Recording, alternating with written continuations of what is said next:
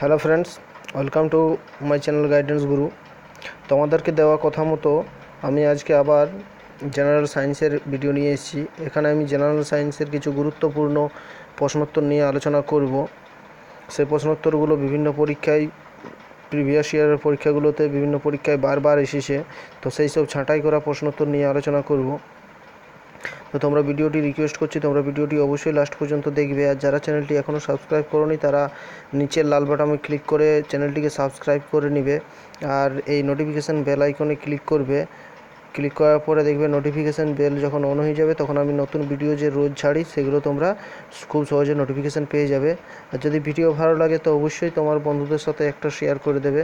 বন্ধুদের সাথে শেয়ার করবে ফেসবুক হোয়াটসঅ্যাপ যে কোনো গ্রুপে তোমরা শেয়ার করতে পারো। তাহলে কি হবে না, তোমার বন্ধুরা খুব সহজে জানতে পারবে আমার চ্যানেলের ব্যাপারে। এখানে যে সামনে যে পরীক্ষাগুলো আছে এসআই অফ এক্সাইজ তারপরে আছে ডাব্লিউপি কনস্টেবল তারপরে আছে ফায়ারম্যান তারপরে পরীক্ষা আছে রেলওয়ে গ্রুপ ডি এএলপির পরীক্ষা চলছে। তো সমস্ত পরীক্ষার জন্য এখানে নোটস দেওয়া হয় ভিডিও আপলোড করা হয় শর্ট ট্রিক্সে ম্যাথ আপলোড করা হয়। তো অবশ্যই তোমরা চ্যানেলটিকে সাবস্ক্রাইব করে নেবে। আর আমি দেখবে জেনারেল সায়েন্সের আরও অনেক ভিডিও আপলোড করেছি। সেগুলো তোমরা লিঙ্কে পেয়ে যাবে আর প্লে লিস্টেও পেয়ে যাবে। সেগুলো সেইখান থেকে তোমরা দেখে নিতে পারো। ম্যাথসের ভিডিও আপলোড করেছি, সেখান থেকে তোমরা সেগুলোও দেখতে পারো। তো চলো তাহলে আজকের ভিডিও শুরু করা যাক।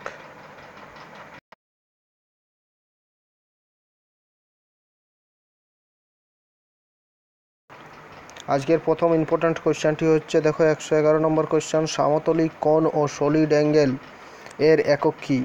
দেখো সমতলিক কোণ সমতলিক কোণের একক হচ্ছে রেডিয়ান আর সলিড অ্যাঙ্গেল সলিড অ্যাঙ্গেলের একক হচ্ছে স্টেরেডিয়ান রেডিয়ান এককটি সম্বন্ধে অনেকেই পরিচিত, কিন্তু স্টেরেডিয়ান এককটি সম্বন্ধে অনেকেই পরিচিত নয়। তো এখানে যে সলিড অ্যাঙ্গেল সলিড অ্যাঙ্গেলের যে একক, সেটা হচ্ছে স্টেরেডিয়ান এরপর একশো বারো নম্বর কোশ্চেন দেখো পতনশীল বস্তুর বিভিন্ন সূত্র কে বের করেন। পতনশীল বস্তুর পতনশীল বস্তু কাকে বলা হয়? ধরো, কোনো বস্তুকে উপর থেকে বিনা বাধায় যদি ছেড়ে দেওয়া হয়, সেটি অভিকর্ষের টানে পৃথিবীর দিকে ধেয়ে আসে, পৃথিবীতে পড়ে। সেই পতনশীল বস্তুর সূত্র আবিষ্কার করেছিল গ্যালিলিও গ্যালিলেই।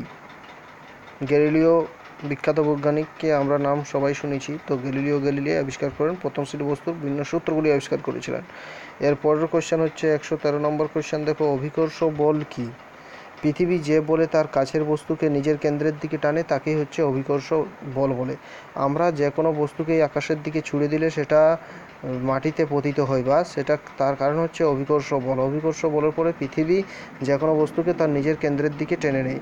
আর মহাকর্ষ বল, এই দুটো তোমরা জানতে হবে যে মহাকর্ষ বল আর অভিকর্ষ বলের মধ্যে তফাৎ কী?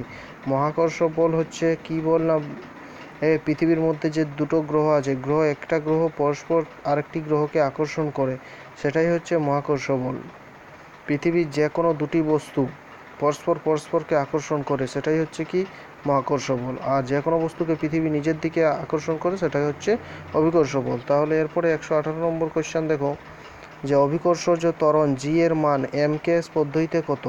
এম কে এস পদ্ধতি মানে হচ্ছে এসআই পদ্ধতি। এসআই পদ্ধতিতে অভিকর্ষজ মান জি এর মান হচ্ছে nine point eight one metre per second তোমরা কি এরপর সিজিএস পদ্ধতিতে মানটা জেনে রাখতে হবে। সিজিএস পদ্ধতিতে হবে নশো একাশি সেন্টিমিটার পার সেকেন্ড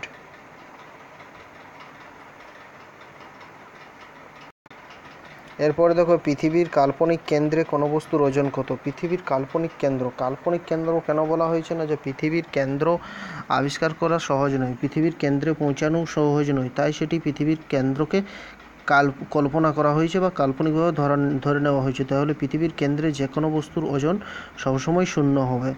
তারপর দেখো, কোনো বস্তুর ওজন নিরক্ষীয় অঞ্চল, সমমেরু অঞ্চলে বেশি। নিরক্ষীয় অঞ্চল না সমমেরু অঞ্চলে বেশি? হচ্ছে যে কোনো বস্তুর ওজন মেরু অঞ্চলে বেশি। এরপরে দেখো একশো সত্তর, এটা বাদ দাও, এটা ইম্পর্টেন্ট নয়। হুম, তারপর দেখো একশো আঠারো নম্বর কোশ্চেন কোন যন্ত্র দিয়ে বস্তুর ওজন মাপা হয়? বস্তুর ওজন মাপা হয় স্প্রিং তুলা দিয়ে। এটা তোমরাকে মনে রাখতে হবে ইম্পর্টেন্ট কোশ্চেন এটা ভুল করা চলবে না। বস্তুর ওজন মাপা হয় সবসময় স্প্রিং তুলা দিয়ে আর বস্তুর ভর। বস্তুর ভর মাপা হয় সাধারণ তুলা যন্ত্র দিয়ে বস্তুর ভর মাপা হয়। তাহলে বস্তুর ভর আর ওজন কাকে বলে সেটাও তো তাহলে তোমরা জানতে হবে। ভর হচ্ছে কোনো বস্তুর মধ্যে যে পরিমাণ জড় পদার্থ থাকে সেটিই হচ্ছে কোনো বস্তুর ভর। আর ওজন কি কোনো বস্তুকে পৃথিবীর যে বল দ্বারা নিজের দিকে আকর্ষণ কর- সেটাকে হচ্ছে ওজন। তারপরে দেখো তাহলে একশো আঠারো নম্বর, একশো উনিশ নম্বর কোয়েশ্চেন হচ্ছে যে স্প্রিং তুলার অন্য নাম কি ও এটি কোন দেশীয় শব্দ? স্প্রিং তুলা অন্য নাম হচ্ছে ডিনামোমিটার এবং এটি হচ্ছে একটি গ্রিক শব্দ। স্প্রিং তুলার অন্য নাম হচ্ছে ডিনামোমিটার। আর তারপর দেখো একশো কুড়ি নম্বর কোয়েশ্চেন সাধারণ তুলাযন্ত্র দিয়ে বস্তুর কি পরিমাপ করা হয়? সাধারণ তুলাযন্ত্র দিয়ে বস্তুর ভর পরিমাপ করা হয়। একটু আগেই যেটা আমি বললাম, সাধারণ তুলাযন্ত্র দিয়ে বস্তুর ভর পরিমাপ করা হয় এবং বস্তুর ওজন পরিমাপ করা হয় স্প্রিং তুলাযন্ত্র দিয়ে। এরপর দেখো কৃত্রিম উপগ্রহে ও বিনা বাধায় পতনশীল বস্তুর ক্ষেত্রে ওজন কত? কৃত্রিম উপগ্রহে বিনা বাধায় পতনশীল বস্তুর ওজন হচ্ছে শূন্য। কারণ সেখানে কোনো অভিকর্ষজ টান থাকে না, তাই কৃত্রিম উপগ্রহে বস্তুর ওজন এর পরের কোশ্চেন হচ্ছে একশো বাইশ নম্বর কোশ্চেন আইনস্টাইনের আপেক্ষিকতা বাদ অনুযায়ী কোনো বস্তু আলোর বেগে গতিশীল হলে তার ভর কেমন হবে? আলোর বেগে কোনো বস্তু যদি গতিশীল হয়, তার ভরটা কিন্তু তখন হয়ে যাবে, অসীম ভর হয়ে যাবে। এটা মনে রাখতে হবে তোমরাকে, খুব ইম্পর্ট্যান্ট কোশ্চেন কিন্তু। পরীক্ষা বিভিন্ন পরীক্ষায় বারবার এসছে। তোমরা ভিডিওটি লাস্ট পর্যন্ত দেখো। অবশ্যই আরও ইম্পর্ট্যান্ট ইম্পর্ট্যান্ট কোশ্চেন আছে। ভিডিওটি লাস্ট পর্যন্ত দেখতে থাকো। একশো তেইশ নম্বর কোয়েশ্চেন দেখো। পদার্থের অবিনাশী সূত্রকে বের করেন।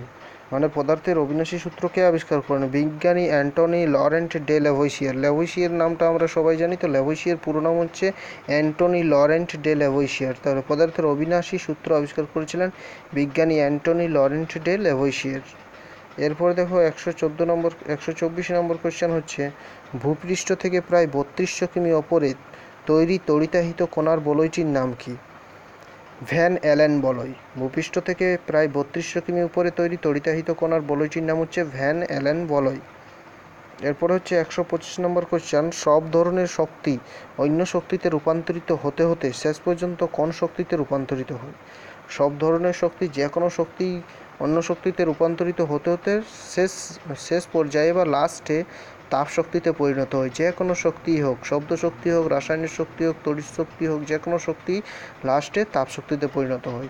একশো ছাব্বিশ নম্বর কোয়েশ্চেন হচ্ছে, কোন ধাতুর ওপর আলো পড়লে বিদ্যুৎ প্রবাহ হয়? সেলেনিয়াম হচ্ছে এমন একটি ধাতু যার উপরে কিন্তু আলো পড়লেই সেখানে বিদ্যুৎ উৎপন্ন হয়। সেলেনিয়াম ধাতুর উপরে আলো পড়লে বিদ্যুৎ প্রবাহ হয়। এরপরে একশো সাতাশ নম্বর কোয়েশ্চেন হচ্ছে, ভর ও শক্তির পারস্পরিক রূপান্তর বিষয়ে গণনার ক্ষেত্রে আইনস্টাইনের সূত্রটি কি? ইকুয়াল টু এমসি স্কোয়ার খুবই নাম করা এটা এটা বিশ্ববিখ্যাত, এটা ফর্মুলা এটা আইনস্টাইন আবিষ্কার করেছিলেন। বড় শক্তির পারস্পরিক রূপান্তর বিষয়ে গণনার ক্ষেত্রে আইনস্টাইনের সূত্রটা হচ্ছে E equal to mc square এখানে এমটা হচ্ছে কোনো বস্তুর ভর আর সি হচ্ছে আলোর গতিবেগ। চলো তাহলে এর পরের কোশ্চেন দেখব। দেখো, একশো আঠাশ নম্বর হচ্ছে ভর শক্তির সম্মিলিত নিত্যতা সূত্রটি কি? নিখিল বিশ্বে সর্বদা ভর শক্তির মোট পরিমাণ ধ্রুবক ও পরিবর্তনীয়। ভর শক্তি অবিনশ্বর। ভর বা শক্তিকে কোনোদিন সৃষ্টি করা যায় না এবং ধ্বংসও করা যায় না। এটি হচ্ছে ভর শক্তির সম্মিলিত নিত্যতা সূত্র। একশো উনত্রিশ নম্বর কোয়েশ্চেন টর্চের সুইচ চালু করলে ব্যাটারিতে কোন শক্তির রূপান্তর ঘটে? টর্চের সুইচ চালু করলে কি ব্যাটারিতে কি হয় ব্যাটারিতে রাসায়নিক শক্তি থাকে, অ্যাসিড দিয়ে ব্যাটারি তৈরি হয় তাহলে ব্যাটারিতে রাসায়নিক শক্তি থাকে, রাসায়নিক শক্তিটা কি হয়? তড়িৎ শক্তিতে পরিণত হয় তখন তখন টর্চের আলো জ্বলে। তাহলে রাসায়নিক শক্তি থেকে তড়িৎ শক্তি উৎপন্ন হয় টর্চে। এরপরে একশো তিরিশ নম্বর কোয়েশ্চেন দেখো, মহাবিশ্বে প্লাজমা অবস্থায় আছে কোন কোন পদার্থ, কোন কোন পদার্থগুলি মহাবিশ্বে প্লাজমা অবস্থায় থাকে? সূর্য, সহ, সকল নক্ষত্র যেগুলো আমরাকে আলো দেই, সকল তারা যেগুলো মিটমিট করে জ্বলছে, সকলেই কিন্তু প্লাজমা অবস্থায় বা গলীয় অবস্থায় আছে।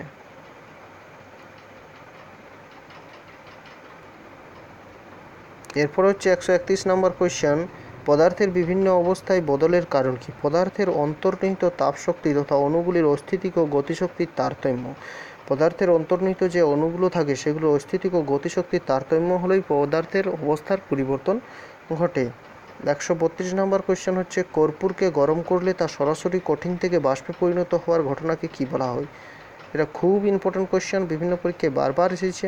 তাহলে কর্পূরকে যদি গরম করে দেওয়া হয়, তো সরাসরি কঠিন থেকে বাষ্পে পরিণত হয়ে যায়। এই এই প্রক্রিয়াটাকে কী বলা হয়? ঊর্ধ্বপাতন বলা হয়।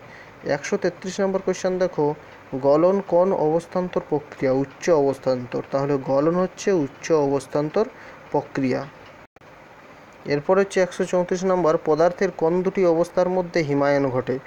পদার্থের কোন দুটি অবস্থার মধ্যে হিমায়ন ঘটে?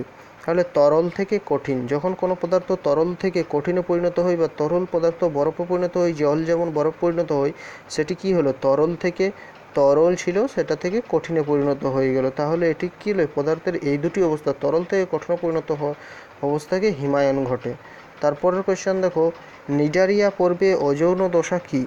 জুওয়েড। নিজারিয়া পর্বে ওজৌন দশা হচ্ছে জুওয়েড। একশো ছত্রিশ নম্বর কোয়েশ্চেন ভলভ্যান্ট পেনিট্রান্ট গ্লুটিনেন্ট হ্যাক্সাকান্থ এর মধ্যে কোনটির সঙ্গে অন্যগুলোর মিল নেই? হ্যাক্সাকান্থ। এটা দরকার নেই, না করলেও হবে ইম্পর্টেন্ট নয় অতটা। একশো সাঁত্রিশ দেখো এমি বা সাইট এর সমার্থক শব্দ কোনটি? অর্কিও সাইট অর্কিওসাইট এমিবোসাইটের সমার্থক শব্দ হচ্ছে অর্কিওসাইট এরপরের কোয়েশ্চেন হচ্ছে, থাইরয়েড গ্রন্থি কোন কোষেরুকার মধ্যে থাকে? থাইরয়েড গ্রন্থি থাকে পাঁচ ও সাত কোষেরুকার মধ্যে থাকে থাইরয়েড গ্রন্থি। এটা মনে রাখতে হবে যে বিভিন্ন পরীক্ষায় এসছে এটা। ইম্পর্ট্যান্ট কোয়েশ্চেন থাইরয়েড গ্রন্থি থাকে পাঁচ ও সাত কোষেরুকার মধ্যে থাইরয়েড গ্রন্থি থাকে। তাহলে দেখো আজকের একশো উনচল্লিশ নম্বর কোয়েশ্চেন হচ্ছে, কোন কারণে ব্যাকটেরিয়া আদি উদ্ভিদ নিউক্লিয়াসের অনুপস্থিতির কারণে? নিউক্লিয়ার, নিউক্লিয়াসের অনুপস্থিতি থাকলে থাকায় ব্যাকটেরিয়া হচ্ছে আদি উদ্ভিদ।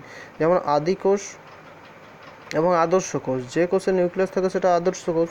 আর যে কোষে নিউক্লিয়াস থাকে না, তাকে হচ্ছে আদি কোষ। তাহলে আদি ব্যাকটেরিয়া, আদি উদ্ভিদ কেন না তাতে নিউক্লিয়াস থাকে না? একশো চল্লিশ নম্বর কোয়েশ্চেন দেখো কোন বৈশিষ্ট্য শৈবালে দেখা যায় না? কাইটিনযুক্ত কোষ প্রাচীর। শৈবালে কোনোদিন কাইটিনযুক্ত কোষ প্রাচীর থাকে না।